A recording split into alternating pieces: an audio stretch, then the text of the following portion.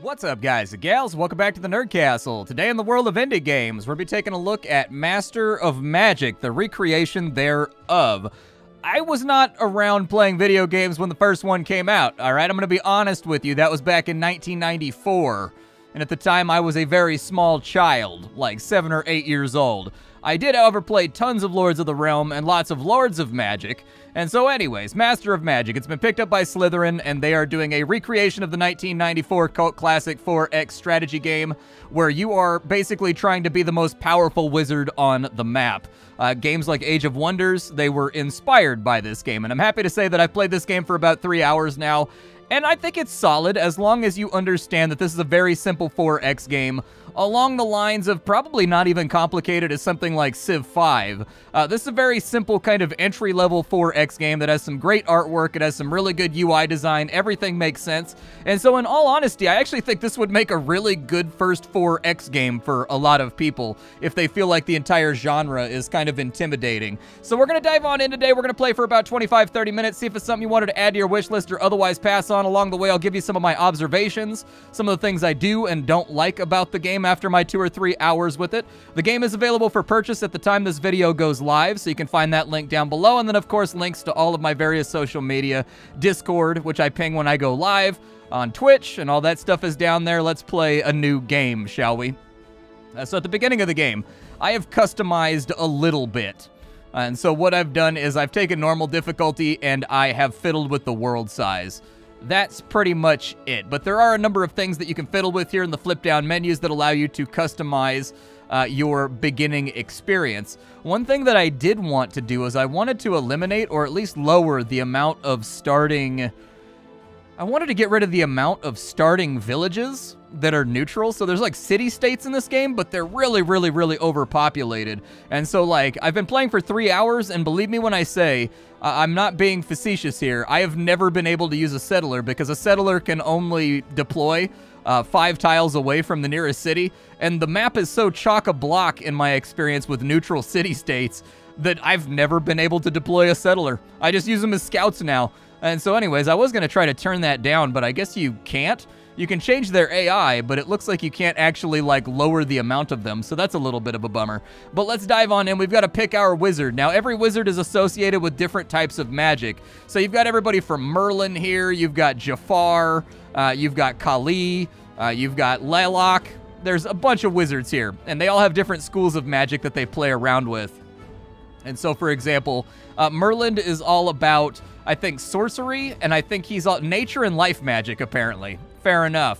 If you go with Raven, he's all about sorcery and nature magic. Some characters will start out with only one school of specialization. That means that they start out way more powerful than a lot of the other wizards, but they have a lot less, uh, I guess, variety to play around with because different schools have different things going for them. Uh, so, for example, like nature magic tends to have a lot of heals and things of that nature. Uh, sorcery tends to have a lot of like confusion and shields and conjury, things like that. And so you will get to learn and know the various spell schools as you play the game more and more. Uh, the art right here is absolutely fantastic, like utterly gorgeous art that they've allowed you to pick from here. Just really, really good looking stuff. Like I found myself just kind of staring at it while I was learning the game. We'll go with something simple for right now. We will start out with Merlin. And then from there, uh, we get to pick our starting spells. And so Merlin, uh, in our life tree. We can pick from a number of different things. I'm going to go with, let's call it, let's call it Bless. Let's call it Starfires. Let's go with Healing. And let's go with, I think maybe Guardian Spirit sounds all right. Let's do that one. Uh, for Nature Magic, I'm going to keep Wall of Stone. I'm going to take Giant Strength. I'm going to take Stone Skin. And then I'm probably to take Sprites or War Bears. Let's go with War Bears. What's more awesome than being able to summon a couple of a boo boo like fuzzy friends to maul and destroy our enemies? Now that we've done that, we get to pick an army that we want to play as. There are Myrran races and there are Arcanian races. Uh, Myrran wizards are the only ones that can pick the Myrran races. In case you were wondering. We did not pick a Myrran general, so we can't take a Myrran race. However, there are barbarians, gnolls, halflings. There's a lot of choices here. From what I've played so far, I've played the barbarians, I've played the gnolls, I've played the highmen. They all seem kind of similar, in all honesty. Like, they have similar tracks. But we'll just keep it simple for the moment, and we'll go with, oh, I don't know. Let's go with orcs. That sounds great to me. I like orcs. Orcs are rad. They get wyvern riders, which sounds rad as hell. So we'll probably do that. Uh, but anyways, we get to pick a banner now too. This was my first complaint about the game is that the banners don't really like match up with the armies. So like all these banners right here are perfectly fine for like halflings, high men, high elves, nomads. They're fine. Uh, but I was hoping that when you picked an army, they would have different flags that kind of match up with the technology tree or match up with sort of the background of the race that you're playing. So, like primitive races would, like the barbarians and the orcs and the lizard men and the gnolls, they would have kind of flags that were like furry and tattered and sort of looked like they were made out of leather and whatnot. So, thematically, the flags that you pick for your faction don't really match up. I guess comparatively, that's kind of like a small complaint in the greater context of the game, but I still wish it was kind of a thing. We'll just go with the purple flag for right now on our orcs, and we will begin our run. We are Merlin of the Orc clans. All right, welcome to the game. Uh, we've got Largut, which is our capital. I like Lardgut. It's a good place. Nobody judges you for having a beer belly. And we are right here on the coast which means we should get some decent bonuses. Uh, we're not making much money right now, which kind of sucks, but let me run you through the UI real fast so that you understand how things work. Uh, normally, I'd prefer not to spend 10 minutes talking about the UI, but with a game like this, it's kind of unavoidable. Uh, we've got our money. Use that to buy stuff. You've got magic. use that to cast stuff. You've got food. use that to feed stuff. And you've got your fame, which you use to attract stuff, like events. Uh, we can research spells. We can cast rituals from right here. We've got our Wizards info panel. We've got our city info panel. We've got our armies. We've got our magic panel, which is actually important because it matters. You can actually click and adjust these right here to determine how much mana you produce per turn, how much research you produce per turn, how fast you cast spells, stuff like that. Uh, for right now, I'm going to try to get like a bumper crop, I think of mana going. I'd like to have a big stack of mana. In this menu, you can also summon your units back to the capital using your summoning circle, and you can also turn gold into mana, and I think later on you can also convert mana into gold, if I remember correctly. But it is kind of, you gotta wait for that to happen. Aside from that, we have the diplomacy menu. Diplomacy in this game is fairly simple. It's nothing to write home about. And that's pretty much it. For the moment, we need to pick a research. And that is to say a spell, because it's called Master of Magic. So the guy that learns all the spells is the best. Uh, let's go ahead and we will research. I don't really care. None of these are super important to me. We will research Holy Armor, I guess. And then from there, uh, we've got armies inside the capital that we could play around with. We've got some orcish swordsmen. And so we'll kind of get them meandering around, trying to scout the map for a little bit. We also have a settler over here that we will also use as a scout in this direction, hopefully being able to start a new city. Because as you can see, we've got a gold production problem, and I need to get on top of that. Inside of our city, there's two different panels you can look at. This is the general panel with your taxes and like your general overview, but this panel right here I wish came up by default and just kept the old UI. Uh, because you can actually watch your city grow, and there's little villagers that walk around and do stuff. And this is so much more of just like, to me, an interesting panel than this right here for building, and I don't know, I guess it's just kind of like a flavor thing, but I wish I could have this open while also being able to manage and build my settlement. I like it so much better. But for now, inside your city, the stuff you need to be aware of is your citizens. So we have four citizens. As your city grows, it gets more citizens. You can apply them to two different tasks, either farming or working. Farming makes it so that you generate more food. Working makes it so that you poop more hammers, so that you can build buildings faster. And then rebels are what happens if your unrest gets too high in comparison to your population. Rebels don't do anything, man. They just sit around all day watching Netflix. Damn them. And so, anyways, they deprive you of production. Over here, we have coal inside of our territory, as you can see from. Where's the coal at? I don't actually see the coal inside our domain, but I assume it's there. We've also got Nightshade, apparently. Uh, these will give you different bonuses to different buildings and stuff, but for right now, not immediately important. What I'd like to do, because we have really bad money, is I want to build a marketplace first, and that's going to take 20 turns. And then after that, I want to build a shrine. So we'll get on that first. And then we'll probably try to expand out our army from there. I may actually cancel some of those so that I can build an army more rapidly, but like for now, it's fine. Let's keep moving our army off in this direction, trying to find a spot to settle, I would think. Uh, we have to be five tiles away from our town before we can settle anything. I'm going to keep the army kind of close with these guys. Uh, apparently, there is a neutral city over here that is filled with nomads, but we don't really know anything about that. So let's get close and see if we can scout them. And it looks like they have three groupings of nomad swordsmen. That's not great. Not amazing having a hostile, kind of unpredictable force so close. Uh, Master, I come bearing gifts. This event always happens at the beginning of your game. Basically, this little guy, my frog that hangs out with me, my little toad frog, uh, he's offering me a free unit. You can swap it out for gold if you go to choices or whatever, and it'll expand this menu upwards.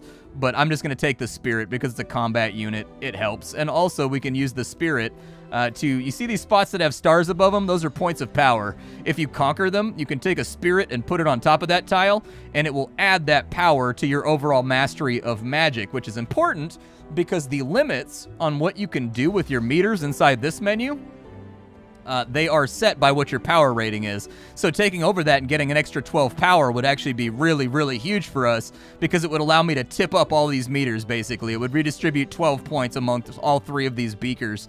And so it would make me comparatively much more powerful than I am right now when it comes to researching, generating mana, and generally just doing activities. Uh, you guys come down here and meet up with my main army. I'll end a turn right there, and I'm to kind of scout down this way and see if there's a spot where I can settle. This army, come over to the forest, you meet up with them. Uh, we'll talk about combat in just a minute and what it entails. Uh, combat in this game is actually really, really simple, but it's more complicated than it looks, is the best way I know how to describe it. Maybe I can settle them down here. I could. I was able to settle them down there. I got to deploy my first settlement, dude. I'm so happy about that. Normally, I don't get to settle anything. If you want to know what the bonuses are that you're getting from the tiles inside your area of control, all you've got to do is turn on the examine menu and look around. Uh, very, very easy to figure out. That node right there may actually be open for conquering pretty soon. I'm going to keep scouting and just keeping guys around. I think that might be the coal that's counting for our city right there, but it's kind of hard to say. What bonuses did this place get? Oh, it's a camp right now. That's right. It takes like 10 turns to set up. Uh, let's continue to move around. We want to leave the spearmen on that tile because chances are these guys are going to attack it. Uh, the neutral cities do not hang out and do nothing. They do actually attempt to like backcap you and stuff. Oh, Quiet Vale is over here. Is Quiet Vale conquerable? Quiet Vale is halflings, and they have three stacks of halfling swordsmen in there. Fair enough. Uh, we will just kind of, we're surrounded by things that really, really want to hurt us right now. This has got me feeling a little bit worried. I, I feel like a sword blade may be coming. Uh, we are actually super boxed in right now. This is not great. In fact, I'm surprised I even got to deploy Broussard. So the way that I see it is we're surrounded on all sides by fortified enemies that know what they're doing and, and kind of have a lot of units. Uh, these guys by far have the largest army. They have like a seven stack inside their walls, and they've got walls built, and they're like a tier two society. Like these guys down here and these guys over here are probably the easiest targets to go after first in order to consolidate our our kingdom, but it's kind of hard to say. Your units in this game, they do level up. So, for example, what you see right here is that my swordsmen have leveled up. That means they got another batch of resistance, and they get one more melee attack roll. Uh, combat in this game, it's got things going on underneath the surface that may frustrate you if you aren't aware of them. And what I mean by that is, let me explain how combat works in this game. So with their stats, what you can see here is that there's kind of like a stat, a percentage, a number of swords. Like, what does that all mean? Uh, basically, what it means is that there are dice rolls in this game, and the combat is semi-random. So your unit, we have six units, each of these six units, when they attack an enemy, they will roll a dice four times because that's the amount of swords that they have. And the dice that they roll has a 30% chance of coming back positive. If it comes back positive, that's one damage dealt, basically. Uh, with these guys, chances are they'll probably roll a one or a two each time. That damage is applied to the enemy's health, but the enemy gets to roll their shields. So your shields will roll twice, um, at 30%, and they will negate any damage. Basically, they'll cancel out a sword effectively. And each of these units takes a turn facing off against the enemy. So these guys have a lot of units, but they don't have a lot of damage uh, and a lot of defense. So these guys are kind of like grist for the mill soldiers that are supposed to die in droves, basically. Uh, but as they level up, they get more swords, they get more shields, and they become much, much more competent in combat. If you don't understand what I just said, the game does have a video you can watch that's nested inside the game itself that will allow you to see that process happening in real time. And in fact, it's quite a good video. After watching it for like an eighth of a second, I basically figured out pretty quickly how the combat works. But up until then, I was very confused. I was like, why is my 4 sword, 15 HP unit losing to their 2 sword, you know, 2 guard, 3 HP unit? Uh, it was just bad dice rolls. And after I investigated a little bit, it made a lot more sense. What we need to do now is we kind of just need to bypass turns over here until we get some tech rolling. You guys just kind of guard and hang out and make sure this doesn't get taken over. Uh, Broussard should be a city now, right? Nope, not quite there yet. But we did get a barbarian bowman will join us for 60 bucks.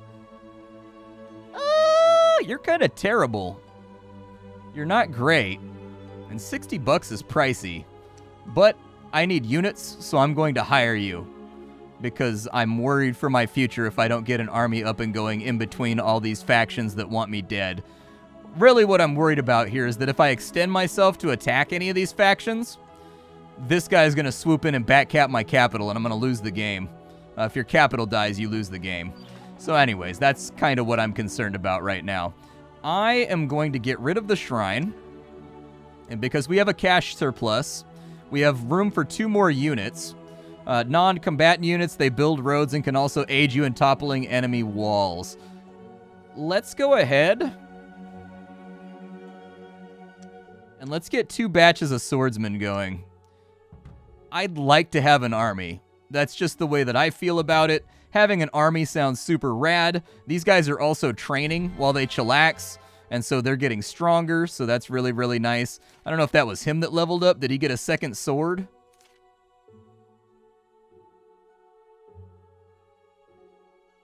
Well, anyways, it says he got more resistance and stuff. I don't know. Maybe I just forgot to click it.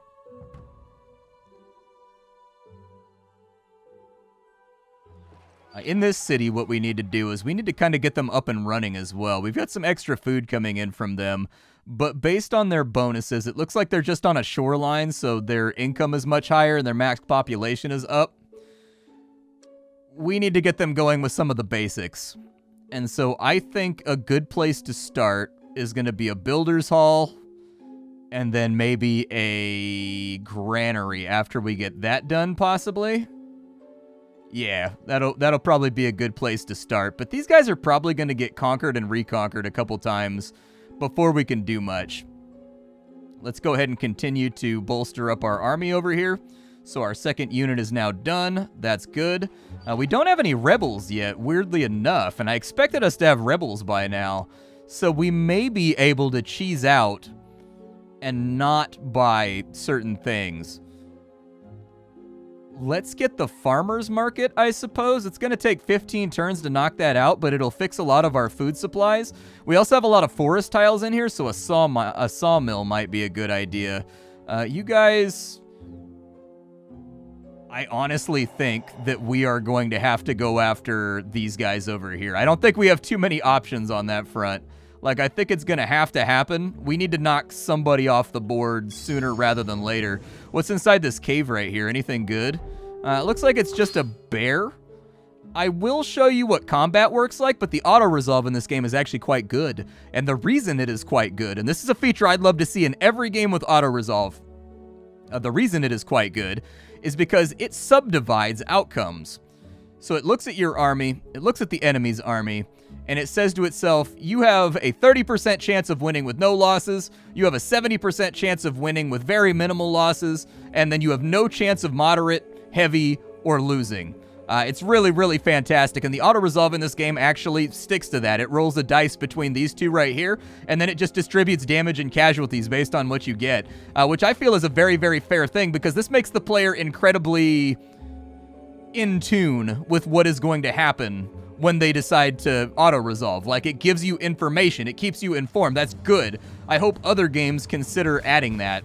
Uh, their bears are going to charge up on us. I'm going to move the army forward. Huh. The orc swordsman and the barbarian swordsman look the same. That's kind of a bummer. I don't know. I was hoping they'd be a little, at least a little bit like green or like red or something. That kind of bums me out. I do have a lot of mana. Uh, technically, I could cast Starfires on the bears, uh, but they're not a valid target right now. We'd have to wait for them to get closer. So I'm just going to end my turn. I'm going to let them move up on us. It looks like they're angling for this unit right here, so I'm going to move the archers back.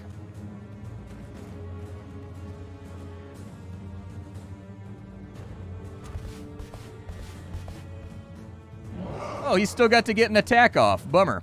All right, so with you, what I want you to do is we're going to cast Starfires over here on you. Oh, Starfires won't hit them? What does Starfires hit? Uh, stars fall and pierce the enemies of life. Only effective versus chaos and death creatures. Well, that's a bummerowski. All right, well then I'll give you Stone Skin so that you have less of a chance of getting whomped by the great and powerful Warbear. Uh, you guys go ahead and feather him a little bit. 30% chance of dealing damage. Not altogether that great, but we did deal damage nonetheless. And so they've got total 16 HP. Wow, these guys can hit like a truck if they want to.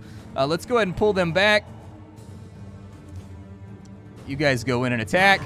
Uh, they got a decent attack roll right there, actually. Not too bad, all things considered. We'll move that part of the army back up. They are attacking my unit down here, which was apparently very successful, but they still lost a unit along the way. Uh, we didn't deal any damage right there, unfortunately. But we are knocking these guys off. And so there you go. The Bears have been finished. Uh, we didn't take any casualties right there, and it looks like we got two mana from exploring that place. That's after we spent mana on a spell. So we would have got more, but we spent a spell. And then we got XP for our swordsman, we got XP for our bowman. Everybody pretty much leveled up a little bit. Not bad. Uh, we're going to leave them over here and let them recuperate for a minute until they are back up and ready to fight. This will also give them a chance to train a little bit, I hope. Inside our city, we've got two turns going right there.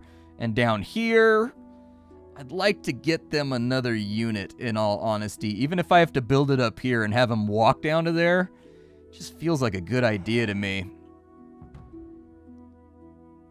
Like, I know we're going to get hit pretty soon. Enemy in this game can be kind of vicious. I'm going to scout both these tiles and see what they are before too long. Uh, that tile right there, it is a hidden beast lair where we will fight two fire elementals, and it'll be a little bit of a rough fight. It's not going to be easy. Uh, it says that we're going to take, we have a 20% chance of taking like moderate losses, which is like half of our troop. Uh, let's go ahead and we won't engage on that one. What does this one have right here? Uh, it's just one Phantom Warrior, so we can knock him off with auto resolve real fast and just kind of see what we get back. Apparently, the AI decided to cast a spell. I do wish there was an option to tell your familiar that you're not allowed to cast spells. In fact, let me open this back up and make sure that I didn't miss that. Still, we got a little bit of cash, and we cleared out an enemy place where enemy armies can spawn from. So that's good.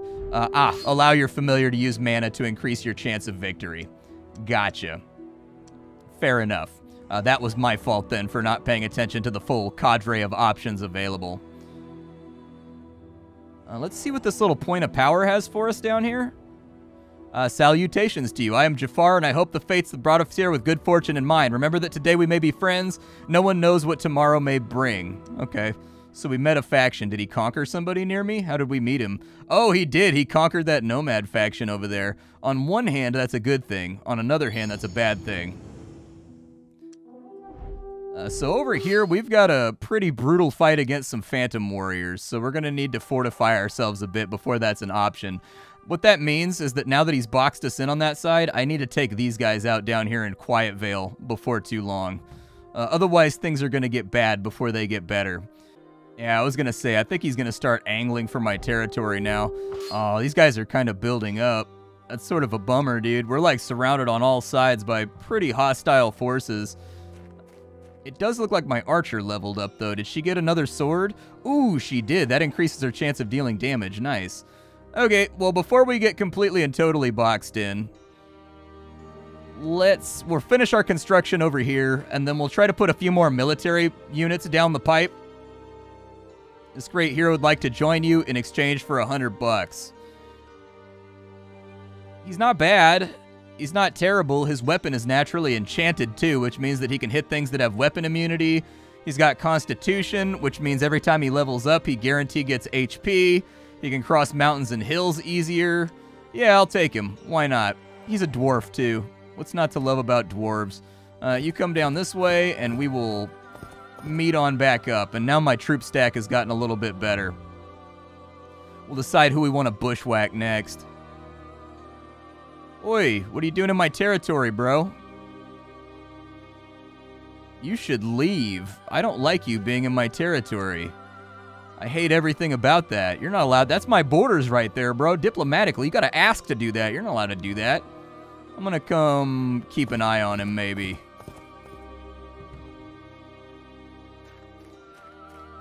Yeah, I was gonna say, he's being a little funky right now. I don't like what he's playing around with.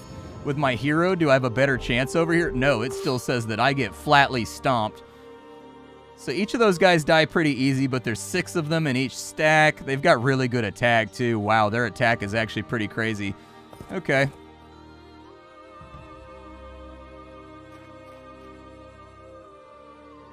Man, did you just take out... He's over here farming my nodes, dude. I hate that.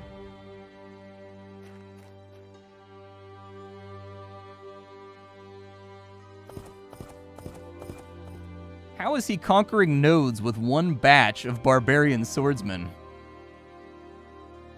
That was two fire elementals. In what world does one group of barbarian swordsmen take down two fire elementals? I get the feeling the AI cheats, bro. That's the feeling that I'm getting. And apparently their unit is now gone because they attacked that node right there, which actually softened it up for me. So I'm going to go for it. And I'm going to go for it hard. Yep, Let's do it. Thanks, buddy. Appreciate you, Jafar, or whatever your name was. That Jafar? I don't know who that was. Either way, I appreciate you, buddy. You just gained me seven power. I just have to keep my ghost alive. All right, you guys march forward. But yeah, let me give you some of my thoughts about the game from the couple hours that I've spent. We're kind of getting towards the end of the video anyways, so I'll kind of uh, summarize everything for you. So Master of Magic is kind of a tough summary, just like when we covered uh, Knights of Honor 2 last week just because I never checked out the original, never played the original. So if you're looking for a point-by-point -point comparison here, I can't supply you with that sort of commentary. But I can attack it as a game that like I'm playing for the first time by comparison to its peers.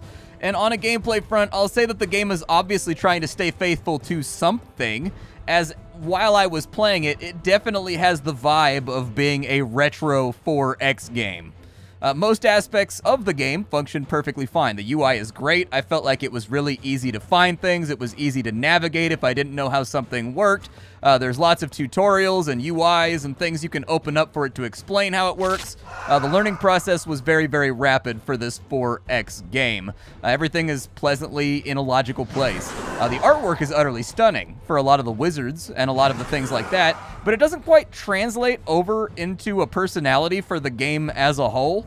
Uh, the game seems to suffer a little bit from like a lack of atmosphere and theming. Like there's no voiceovers of like wizards taunting each other. Uh, there's no unit confirmations. There's not really any of that extra confetti that makes a game feel immersive, and so it was a little bit tougher for me to get into it because of that. That said, all the components seem to work throughout the game. And like once you understand how the combat works at a low level and how the dice rolls function, I think you'll be off to the races pretty quickly. Uh, it's strangely enough, like the only way that I really know how to describe it is like it's a customizable, simple game from what I've seen so far.